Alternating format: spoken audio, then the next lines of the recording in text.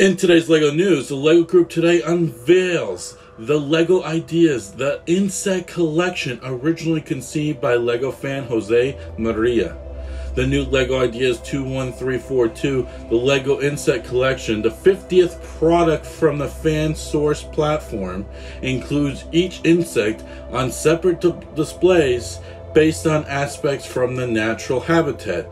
The blue morpho butterfly sits on a branch in the South American Amazon rainforest. Next to it lies a buildable flower with a honeybee hovering over it. Move across to the Central America afterwards and build the longest beetle in the world with the male Hercules beetle sitting on top of decaying log.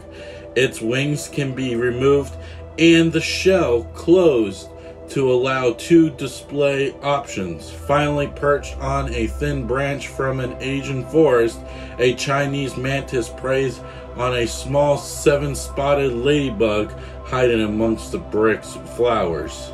21342 The Insect Collection will be available globally via LEGO Store and at LEGO.com from the 4th September 2023 for LEGO VIPs and the 7th September for all others. Recommended retail price is $79.99.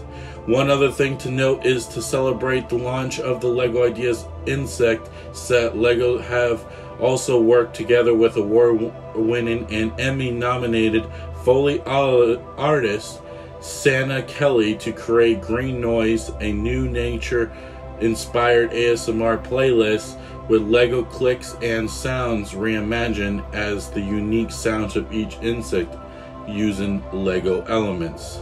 This is all I have for today's LEGO news. Let me know your thoughts on the new LEGO idea set in the comments below. And as always, builders, keep building your life one brick at a time.